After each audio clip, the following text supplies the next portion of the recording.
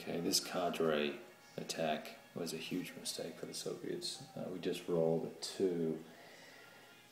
And that's a d4-3, so 3-step loss and 4 retreat. It's bolded, that means I get 5 in advance of 5. And I get to, uh, basically, as long as I enter, as long as I enter this hex, go anywhere I want. Uh,